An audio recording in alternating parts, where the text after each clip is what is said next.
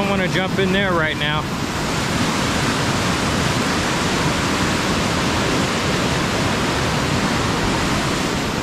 We'll go further.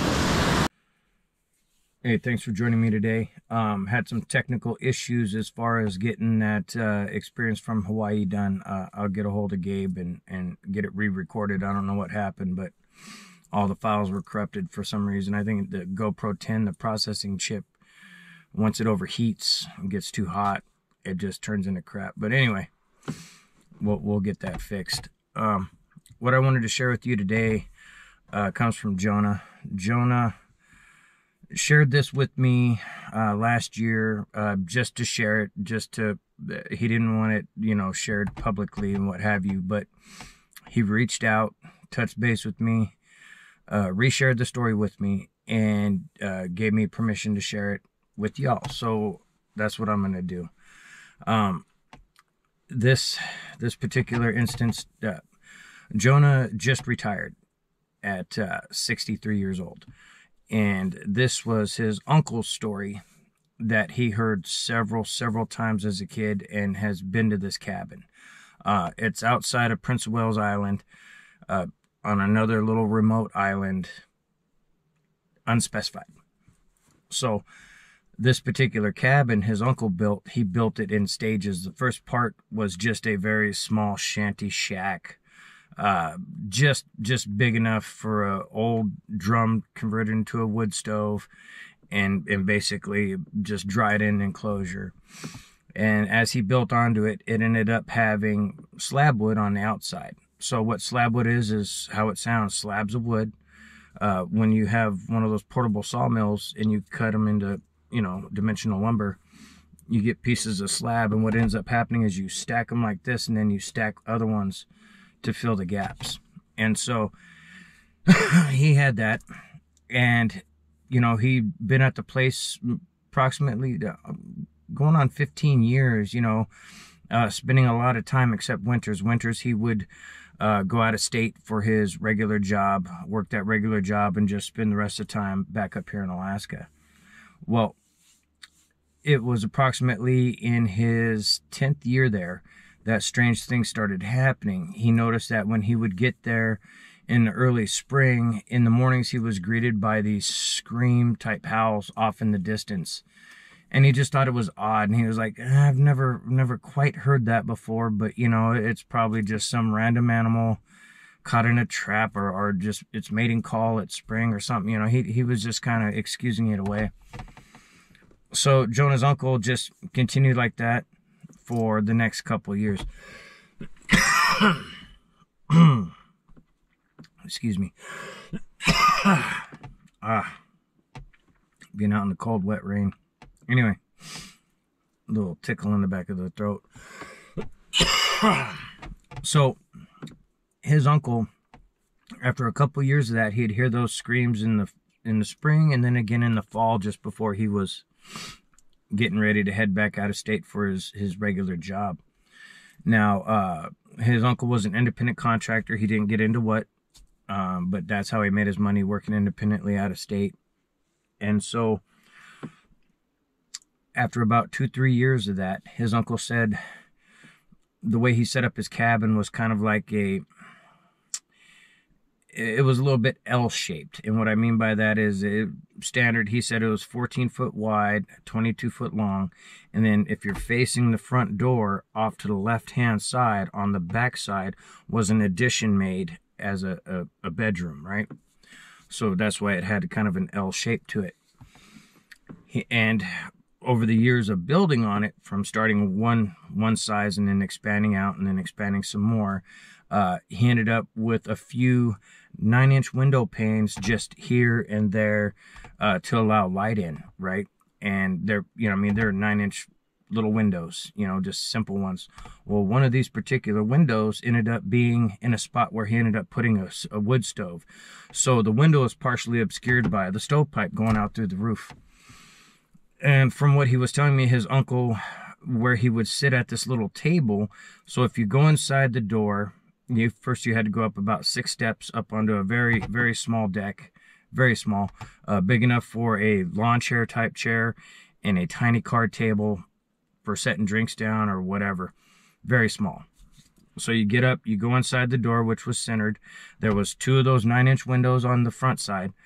And when you go inside, there was a table immediately to your left, uh, kind of like a sink to your right that just kind of drains straight out into the floor onto the ground.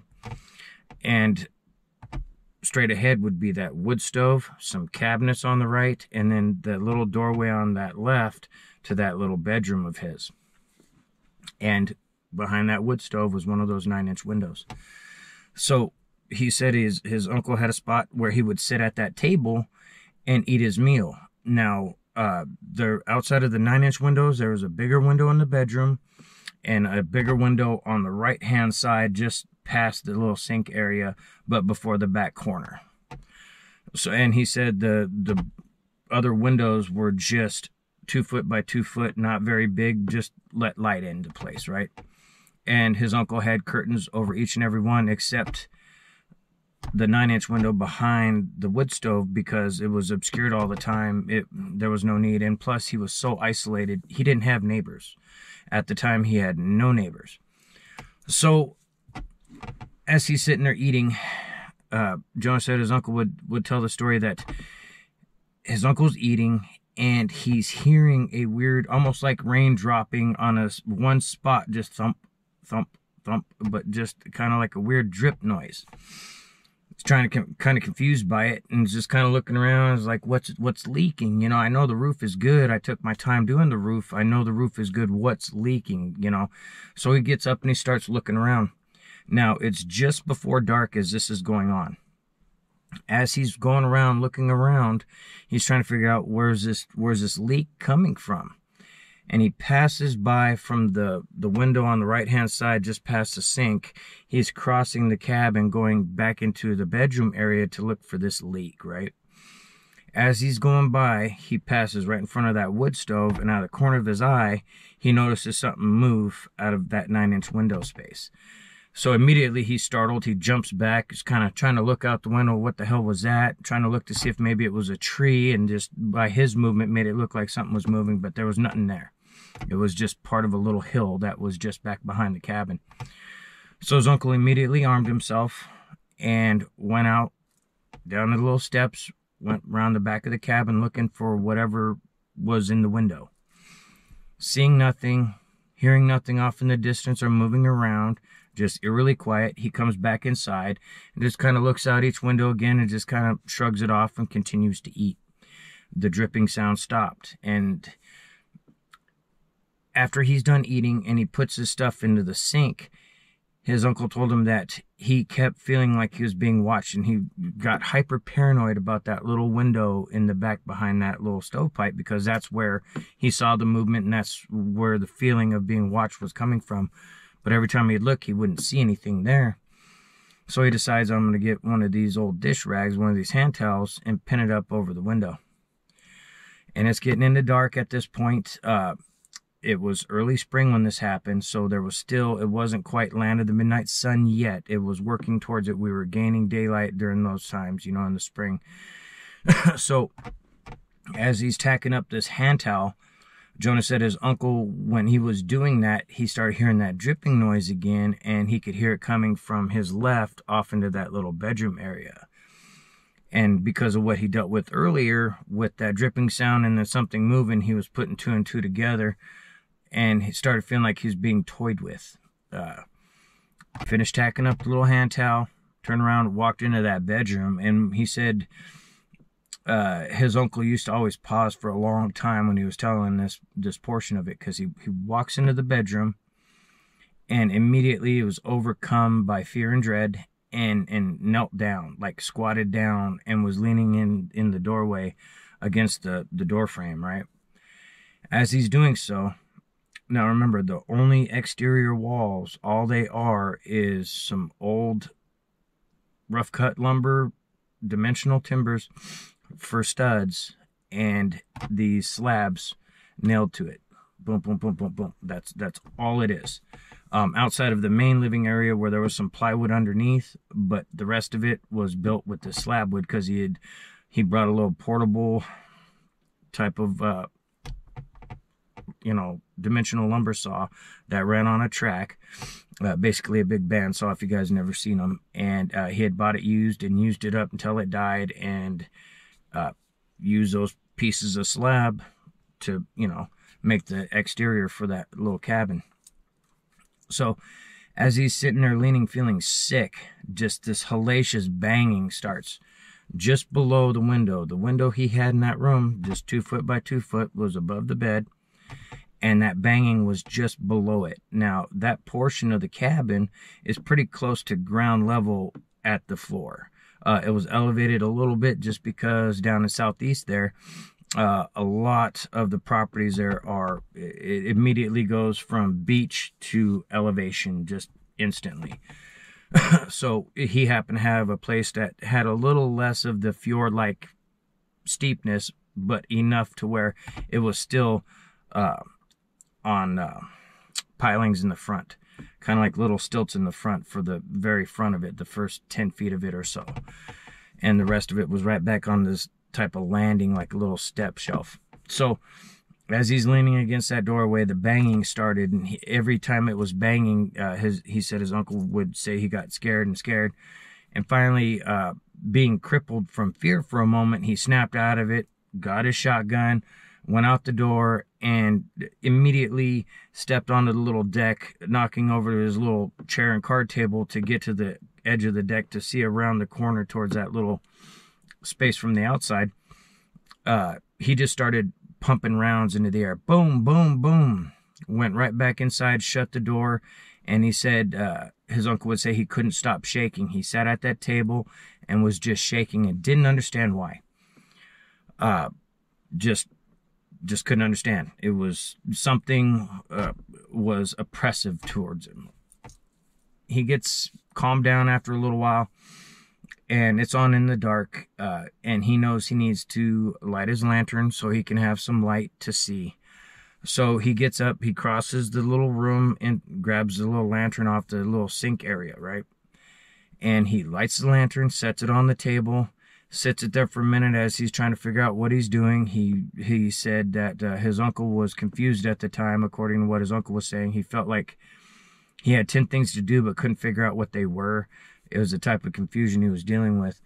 So he realized, you know, I just ran rounds through my shotgun. I should reload it. So he starts looking around for shotgun shells. Well, his shotgun shells were right on the table in a bowl in front of him. He, however, being in this confused state, was wandering around the cabin looking in all these obscure places where the ammo would never be. So after doing that for a little bit, it dawns on him it's right on the table in front of you where you were sitting, you know. So he sits back down, he calms himself down, and reloads the shotgun and attempts to go back into his room. And again, as soon as he crosses in through that that little doorway, he's immediately gripped by fear. And he's like, "Man, what? This something ain't right." So he backs out, goes sits back at the table, and he's he's contemplating why is this happening? You know just just going through it in his mind. What what what is this? Is this some kind did i eat something bad? Am i having hallucinations from bad food? Some kind of food poisoning? Well up till this point he's only assumed he saw something move in front of a window. There was banging going on and he's basically freaked out. He has nothing seriously tangible outside of uh, potential hallucinations because he's second guessing everything going on in his world at that moment. So, according to what Jonah was saying, uh, his uncle stayed like that for at least a day, sitting at that table. Uh, the the lamp eventually went out. He just sat there in the dark, just was in a confused state, and after that evening had passed and about midday the next day he was finally coming back into his own senses and and and whatnot. And as he was doing so uh he got that overwhelming sense of fear again. And so he stands up he looks around he's not seeing anything. So it being light outside, he started flipping the curtains over, which were just old towels and old pieces of cloth that were just tacked over the window. So he was just taking them and tucking them over the top and just so, you know, light could shine in.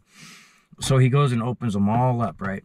And as he's doing so, uh, he keeps noticing after he passes each window, almost like a dark shadow was moving as well. But it, it, he just chalked it up as you're just paranoid from what's been going on. There's there's nothing following you around this cabin to each window that you're opening and just to make a shadow right after you pass it.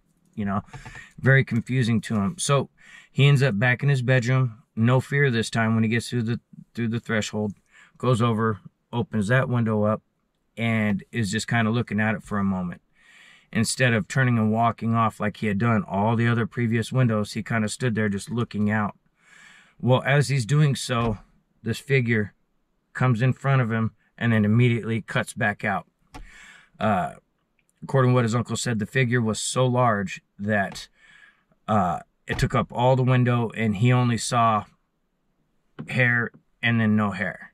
I mean, it was it was so big. So immediately he stumbles back, falls down, scurries out of the little room, grabs his shotgun, and runs outside to go and get this whatever he was assuming it was probably a bear stalking him to eat him, and that's why he was so scared. He gets outside, nothing around. As he gets up to the back side to where his room is, that little extended room is, he hears thrashing through the trees going off and up the mountain, right? So he calms down a little bit, goes, okay, bear knows I'm willing to defend myself. It'll probably stay away. There, there's going to be fish in the stream soon. You know, everything will be, this bear will stay away. And then to him, in his own mind, he's like, oh, that makes sense. There's a big bear, big predator around. No wonder I'm feeling antsy. I just, you know, I'm used to seeing him and I don't feel as antsy, but I guess me not seeing it and just sensing the predator is what made me scared. So he chalked it up.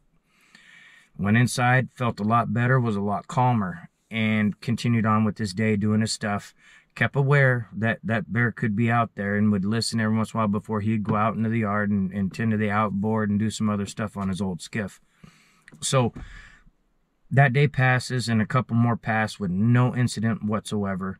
Uh, to where his uncle is calm, just being out in the woods. He's back to his norm, calm self, enjoying, just loving being there in the isolation and, and you know his own area. So he ends up down at the beach, down below his cabin, and he's basically beachcombing and periodically they'd come across you know the glass balls from the korean fishing boats you know with the with the uh brailer mesh over them and stuff like that. Sometimes he'd find washed up dead marine life you know just he was enjoying the whole reason he had built a cabin there.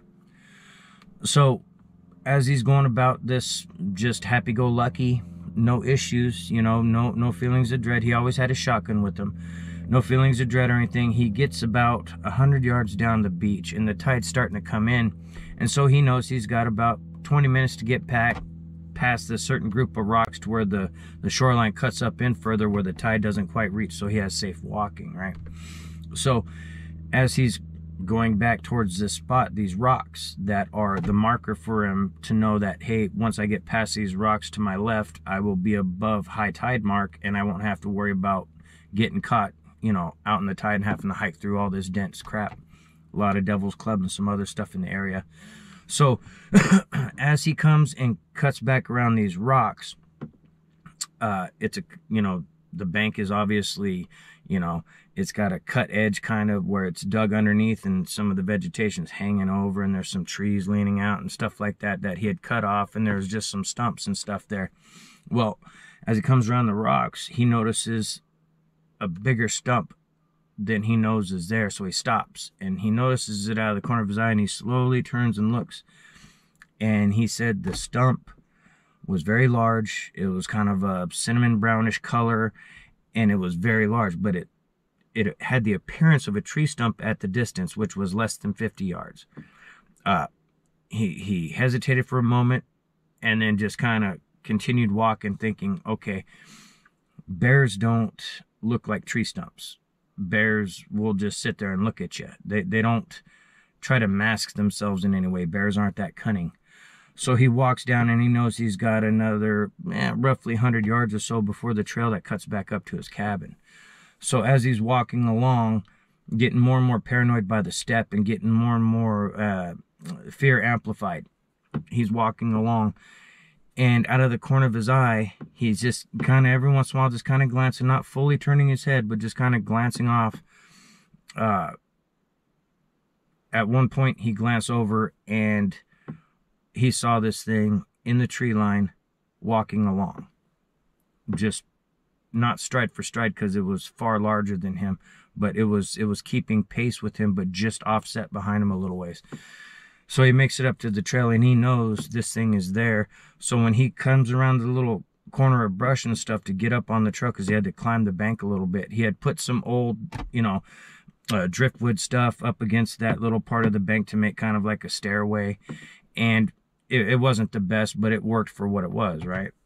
So he's negotiating that going up it. He gets up it and he knows this thing's going to be right off to his left. So when he gets up to the top, he's pointing the shotgun that direction. Nothing there. Absolutely nothing. Because once you break past that, you know, initial thick brush at the shoreline, it opens up a little bit, you know.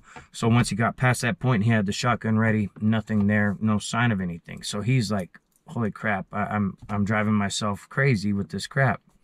Kind of chuckles to himself it's like I'm imagining stuff. I need to, I just need to take a break. I'm gonna, I'm gonna go, you know, visit relatives. Prince Wales Island. We'll just, we'll, I'll go over there and, and go visit for a little while and, and clear my mind of this stuff. So he walks up to the cabin, gathers up a bunch of stuff, and uh, he was gonna, you know, refuel on fuel and just uh, everything, you know, whatever he needed. He made a short list, grabbed some of the containers he'd need for the gas and stuff, and and you know the lantern fluid and all this kind of stuff. So he's making his list, he's doing his thing, and as he's doing so, uh, he's at the table gathering everything up, just going through the checklist, make sure he has everything. He sees dark shadow on the floor from the two foot by two foot window next to the sink, right? So he's kind of looking and, and just doing his thing, kind of slowed down, kind of glancing over at the shadow on the floor, and he noticed it's like a man silhouetted, moving back and forth, doing this little little sway, this shadow sway on the floor. And he just thought it was the oddest thing. And so, again, he immediately amped up, immediately scared. However, he kept his cool to try to make sure he was seeing what he was seeing and not just seeing things, you know? So he gingerly reaches down, grabs the barrel of the shotgun that was leaning against his little table, pulls it up, kind of keeping it obscured from whatever's in the window because it was still swaying back and forth. This shadow was. As he's getting the shotgun into position to turn around and point at the window, uh, the shadow disappears. Uh, just as he was getting ready to turn, all of a sudden the shadow was gone. As he turned around, there was nothing there, right? So he's motivated to to get a break. He grabs his stuff, he loads it up into the old army duffel bag style, and slings it over his shoulder, has a shotgun, and goes on down to the beach. Now, uh, he had had some outboard trouble, and so his outboard wasn't attached to his skiff. He had worked on it a little bit, and it was up in a barrel on a little stand to where he can operate it and make sure it was functioning, and he, he had fixed it. He just hadn't transferred it from the barrel back onto the skiff, and he needed to do so. So it was just a little 25 horse motor. It wasn't super heavy or anything, but he had to use both arms to take it down to the skiff, and he wanted to keep it upright. So, being paranoid and very hyper paranoid at the time, he's he's looking all around, and you know he's not seeing anything. So he you know he loosened up the little cleats that that dig in, and he lifts it out and now he's got his bag and the shotgun slung over his shoulder and he's carrying this outboard. Now he gets down to the shoreline and no issues, get climbs down that old driftwood dunnage that he made a little stairway out of and gets down onto the beach and is just set the outboard leaning against the, the skiff to attach it to push it out to launch it basically. So as he's doing so, he set it down, leaning against, he had to, because, you know, he's packing a, a heavy duffel bag and a shotgun around his neck basically he's taking stuff off to make it a little more comfortable to get the you know do what he has to do with the outboard so according to what he told jonah is is at that point when he leaned the outboard against there and unslung as soon as he unslung the shotgun first and then was in the middle of taking the duffel bag off as soon as the duffel bag gets cleared his uncle got hit in the back of the head with a rock little bigger than an acorn and he said it hurt bad uh and and didn't understand what the hell. He turns around and looks and sees nothing. Grabs the shotgun, and shoots a couple rounds up into the trees, like, you know, quit throwing stuff kind of thing, because he didn't know what was going on. Just confusing as hell. So he reloads immediately after he shoots those two shots. He throws a duffel bag into the skiff, and he's having a very hard time reattaching the 25 horse, which there's a couple cleats on the back that hook onto the transom, and then you have these little dials that you turn down tighten it down, right? So he gets it on there and he's tightening them down, but he can't focus fully on that because he keeps looking behind him because he was just hitting head with the rock. Now, according to what was said, is he got it fully attached and was getting ready to attach the gas line from the fuel can to the outboard so he could fire it up once he launched it. So as soon as he gets this gas line hooked up, there's a loud scream from behind him. Um, the way Jonah expresses his uncle's eyes would get really big and and he would imitate uh, his chest vibrating from this this growl scream thing that was going on. It sounded like directly behind him. He said his uncle turned around, uh, scared as shit, and saw nothing. It, it whatever made the noise wasn't as close as it sounded. It was it was in the tree line still. So and his uncle suspected because he had been popping shots. You know, anytime something got super crazy, you know, his, his uncle was popping shots. Uh, right, wrong, or indifferent, that's just what was going on. So, scared to death, re- you know, make sure everything's attached, make sure everything, you know, the outboard's tightened down to the transom, and uh, starts to launch the skiff. Now, it was about 25 feet from the tie, uh, where the water was at that point. So he starts pushing it, pushing it, and he had already dropped the anchor line. So once he launched it, it would go out, catch that anchor line, then swing the ass in around, and he'd pull it back in to where the outboard's in the deeper water, and he could drop it, start it, get the bow line, and, and get out of there. Anyway, so he gets it launched, and the whole time it was really hard because he kept getting distracted by what's going on around him. He could hear thrashing at this point. He could hear weird noises he can't account for so once he's got it launched, got it turned around and everything, he pulls it back up to shore. And there was about 10 feet of this rope that he had a bowline tied to another bowline to where, because he kept one anchor on shore buried deep as a just a shoreline, and the other one he would just tie a bowline just to keep it. So he didn't have to pull in 80 feet of line every time he was coming and going, right? He could easily do it from in the water. He can untie it, bring it back out, you know, and not be worried about, you know, keeping track of all this line. Well, as he gets in the skiff, he hasn't dropped the kicker down into the water yet because he hadn't had a chance. He just launched it. So he's make sure everything's good. It was a nice slack tide, so he didn't have waves pushing the boat sideways onto shore or anything like that. It was just sitting nice and steady where it was at. And so he unties that line and throws it and goes back and drops the kicker down and starts pulling on it. And it's making that two stroke, la la la la, la la la la. You know, anyone who's been around an outboard knows exactly what I'm talking about. And as it's as he's doing that, every time he pulled it, he heard what he thought was an echo of that from the shoreline. So he he was assuming because it was so quiet, he was able to hear an echo from pull pull starting this two stroke, right? So he blah blah blah blah, and then he would hear blah blah blah blah. It, it was identical to the noise the outboard was making, and then the the third pull it, it start it sputtered a little bit and then stalled out, and there was no echo.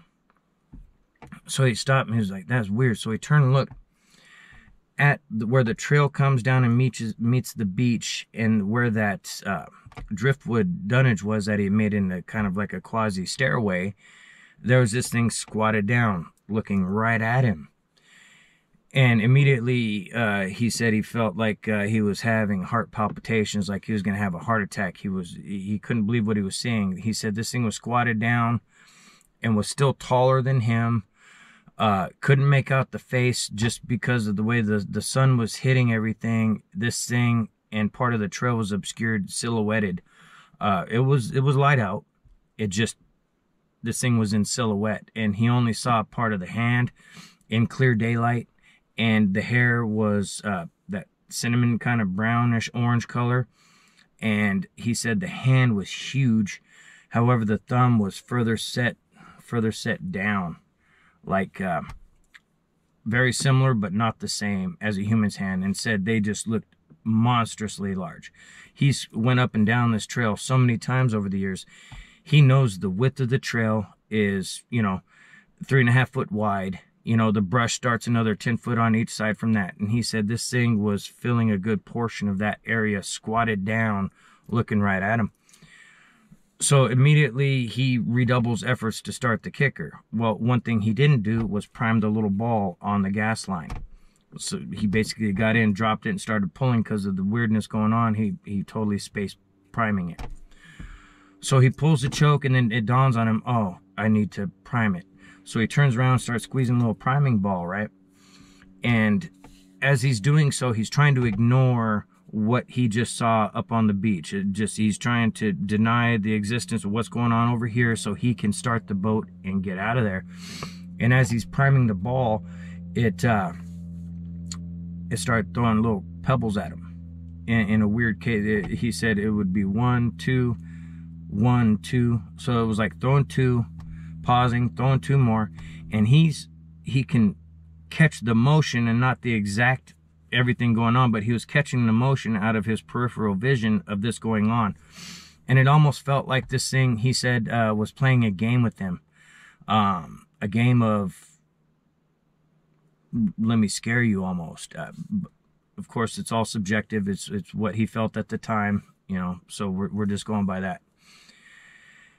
He primes it, starts the outboard, and immediately puts it in reverse and backs away from shore. Well, it stalled out because it hadn't warmed up, so he put it back in neutral, started it back up, fired right up. He let it idle a little bit, and since he got some distance from shore, he felt more comfortable looking back at this thing because after the initial noticing it looking at him and whatnot and noticing the hand and all that, he immediately averted his eyes. He felt like he didn't want to engage it in eye to eye contact.